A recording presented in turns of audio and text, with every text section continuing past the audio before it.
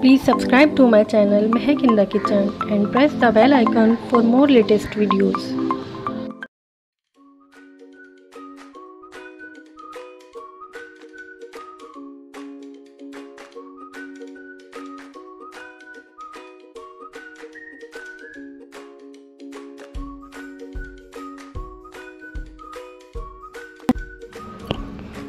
बिसमीम अस्सलाम आज हम बना रहे हैं स्पेशल छिलका रोटी इसे चावल की रोटी भी कहते हैं। तो चावल की रोटी बनाने के लिए हमने ये लिया है चावल का आटा, तकरीबन एक कप। और ये हमने एक दरमियानी साइज़ की प्याज ली है, इसे हमने बारीक कट कर लिया है। और ये हाफ़ टमाटर लिया है हमने, इसे भी हमने बारीक कट किया है। और ये हरा धनिया थोड़ा सा और थोड़ी सी हरी मिर्च ली है हमने बारीक बारीक कट करके। और ये हमने तेज़ गर्म पानी लिया है। इससे हम इसे घोलेंगे। तो चलिए अभी स्टार्ट करते हैं हम। सबसे पहले हम चावल के आटे को घोल लेंगे।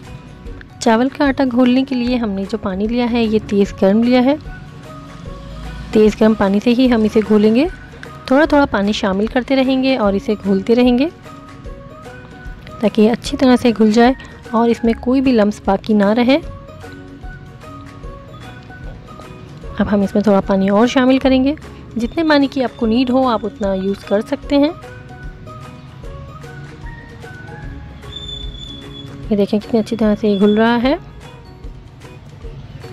तो ये हमने इसे घोल कर रख लिया है। आप इसकी कंसिस्टेंसी देख सकते हैं।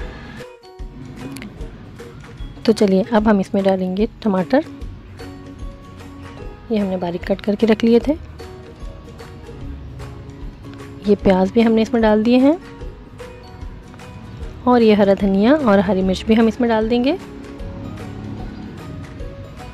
अब इसे फिर से अच्छी तरह से मिक्स कर लेंगे हम।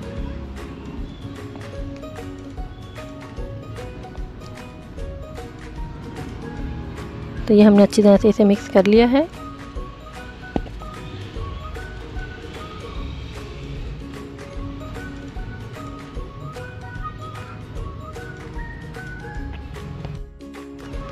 तो अब हम इसमें डालेंगे वन टेबल स्पून कुटी हुई लाल मिर्च, हाफ़ टी स्पून सॉल्ट।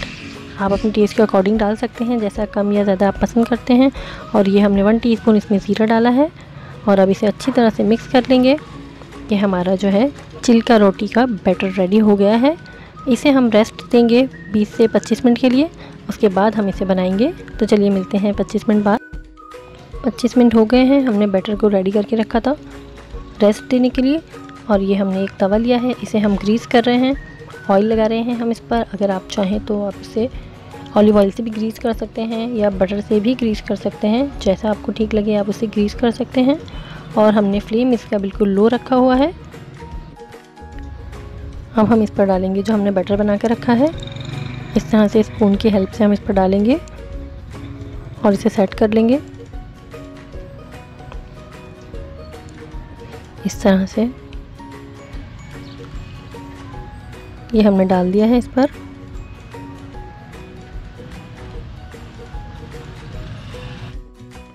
अब हम इसे एक मिनट के लिए कवर करके पकाएँगे लो फ्लेम पर। एक मिनट हो गया है हमें इसे कवर करके पकाते हुए। अब हम इसे ग्रीस करेंगे। और फिर हम इसकी साइड चेंज करेंगे ताकि ये इस साइड से भी अच्छी तरह से पक जाए।